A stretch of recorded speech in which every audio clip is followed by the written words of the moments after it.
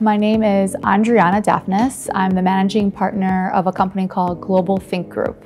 My business partner, Marco Benenti, and I decided that we wanted to start our own company. We saw a press release from Astrolabs that very clearly outlined how we can get this entrepreneurship license.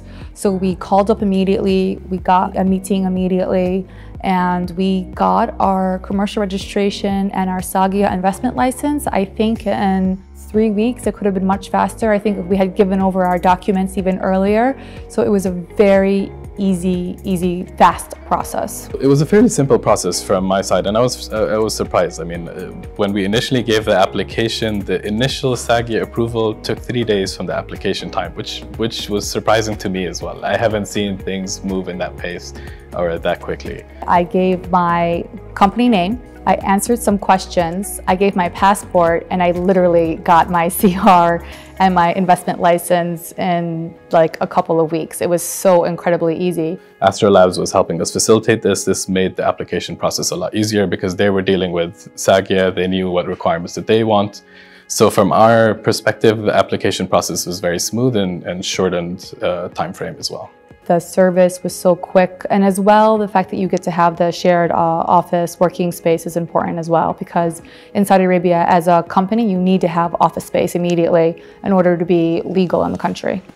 The team at uh, Astrolabs was quite helpful. So the guys you went with us to Sagia, they helped introduce us to the people, they had the discussion on our behalf. There wasn't a lot of input needed from our side. It was made very easy for us to, to be able to apply in all honesty. So it's a very open environment for idea generation. If you need support from somebody, people are always willing to talk to you and help you sort of think it through and give, share their views. It was a really great experience because we essentially went with an Astrolabs employee to Sagia's business center, while the Astrolabs employee, I think his name is Yusuf, went from table to table, desk to desk, which represents a different ministry and did all of our paperwork while I was drinking my coffee.